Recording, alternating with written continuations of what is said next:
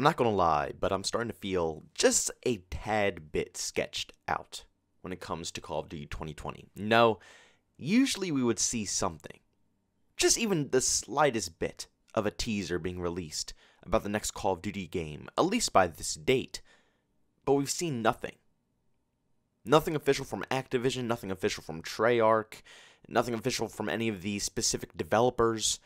We haven't seen anything relating to Call of Duty 2020 at all. The most that we really see are leaks. And the leaks are that it's supposed to be Call of Duty Cold War or something like Black Ops 5. You know, it's supposed to be in the Vietnam uh, Cold War type era. So basically, we're taken back to the Black Ops 1 time period. But keep in mind, none of this stuff is confirmed, even though a lot of the stuff that these people are leaking are from, you know, really reliable leakers. People who have been right multiple times in the past, which makes it, you know, really reliable stuff that we're seeing here. But it's not as good as knowing the official thing. You know, knowing officially from Activision what this game is going to be is a lot better than having someone leak information out, not knowing, half ass knowing if it is true or if it's not true. It's starting to make me wonder if this game is actually canceled or if they are going to push this video game back. I highly doubt they're going to cancel it. Because a lot of these developers, and as we all know, with all the stuff that's going on right now, I think it's slowly starting to die down a bit. Where I'm, I don't even think it's that much uh, craziness going on from what I'm currently seeing. But a lot of the developers have been sent home with a lot of high tech equipment, so these guys have exactly what they need to design a video game. Now, the biggest problem is being able to communicate because obviously in a game development studio or in these specific studios that these people work with a lot of communication is key to making a very successful video game. If they can't communicate, if they aren't on the same page, if they're not all trying to make this game around one similar concept, things will get off, things will, will pretty much turn out awful, and the game will just be an absolute disgrace. That's probably the biggest thing that will probably go down here, but regardless, they have the equipment. They have the stuff that they need, and I guess it's just as easy as doing a little Discord call and just chatting with your, you know, coworkers and figuring out what's going on. I can't imagine it being that complicated that they're going to need to push back this video game.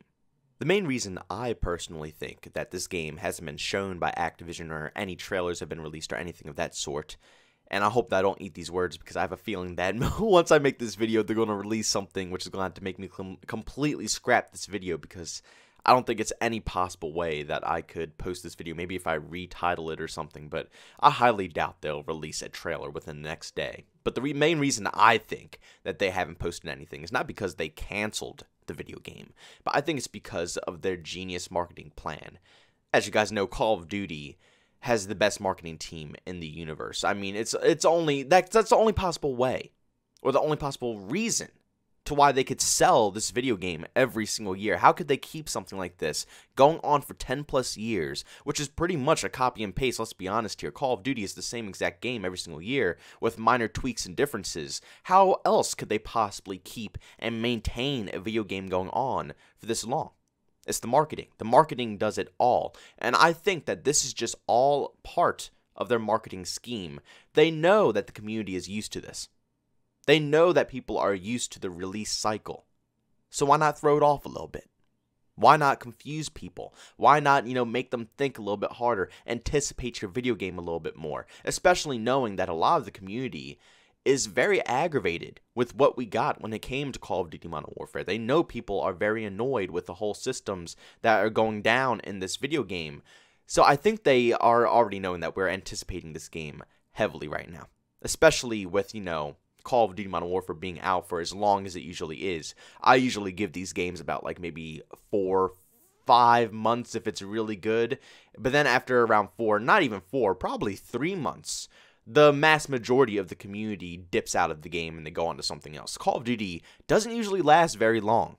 You know, it's not a game that will last a couple of years, unless I guess they do make them and then they, you know, force that game to last a couple of years and then release another one, then wait a couple of years. But since they come out every single year, the mass majority of the people who purchase Call of Duty usually drop off around the three month mark to four month mark, and then they're gone forever, which leaves it to the core Call of Duty fan base, which will maybe last around five months to six months, and then after that, it gets really bad, especially when it comes to content and streaming and stuff like that. People just completely start dying off. and it just gets very bad for Call of Duty people. And that's when everybody starts building up their hype for the next game. And I have a very, very strong feeling that Activision knows this whole cycle now. They know it in and out. They know all the details and all the statistics to make sure that they could possibly twist this whole release around. And they are planning out probably one of the biggest reveals that they could possibly get out. I can only imagine how they're going to possibly reveal this. I've been hearing rumors about maybe revealing it in Call of Duty Modern Warfare Warzone and stuff like that, but I, I don't think that they're going to do that. I feel like we're going to get an actual trailer like we usually do. And I just hope it's a very good trailer. I hope that they don't mess around with this. I want to see multiplayer straight out the bat. I want to see the campaign. I, I, honestly want a little bit of everything. I hope that they make three separate trailers. Obviously, don't cram them all into one trailer. I want a campaign trailer, multiplayer trailer, and if they're going to pop off with zombies, I want a zombies trailer. And hopefully, we'll get to see them all in one day, or if not, maybe they'll span them across three separate days. But I, after all this time that we've been waiting, yes, I understand that's a very, I don't know if it is a strategic move that Activision is doing, or maybe they are just that held back that they need some extra time to put this stuff together. Maybe they don't have time to put together a trailer because they're still trying to put together the game itself and it doesn't look polished enough to make a good looking trailer. Who knows what the situation is, but I still think that is just the marketing. But I really do pray to God that we don't have to suffer with Modern Warfare for two years straight. Now, I, I can tolerate it probably. I, I think I could get myself through but it's a lot of people out there who cannot. And I know a lot of content creators who will suffer very dramatically if they force us through a two year cycle on Call of Duty Modern Warfare. And I just don't think it's fair overall. You know, just our mentalities as Call of Duty players, we know it's a Call of Duty game that releases every single year. So if they were going to make us wait two years for a Call of Duty game, it would have been much better if they let us know ahead of time. Let us know that the current Call of Duty game that's about to release is going to be a two year cycle Call of Duty game. So we're going to play this Call of Duty game for two years. That way, we're prepared. We are mentally trained and prepared for the next cycle instead of, you know, right now where we're ready. You know, we as a community, we're ready to move on. We're ready for the next Call of Duty title. We're pumped up. It's that time of the year that, you know, the current Call of Duty game is going to die down a little bit and we're all ready to move on to a new experience in Call of Duty. And if they say that Call of Duty 2020 is canceled, or if they say Call of Duty 2020 is going to be dramatically pushed back, which would probably not be the case, if they're going to push it back, it probably won't be that long, maybe a month, because you have to understand they're not going to miss, you know, our Christmas season and, you know, the time for all the gifts, and everybody's going to be asking for the next Call of Duty game and stuff like that.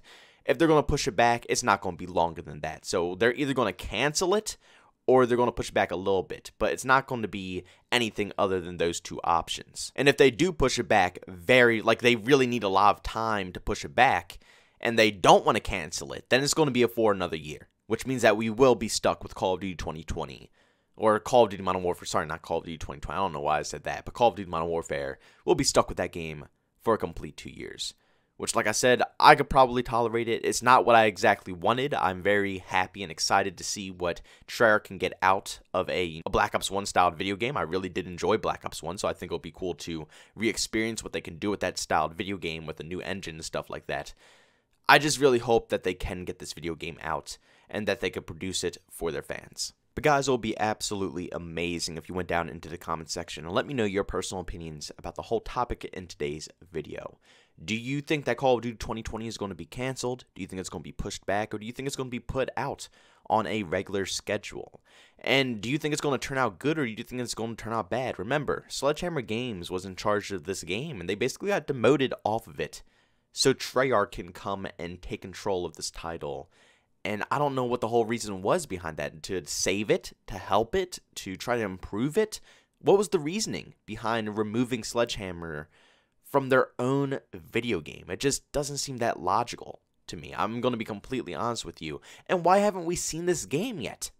You know, it's it's almost June, right? Yeah, yeah, it's almost June. I'm forgetting my time. Jesus Christ. Oh, this quarantine has been just driving me absolutely absurd.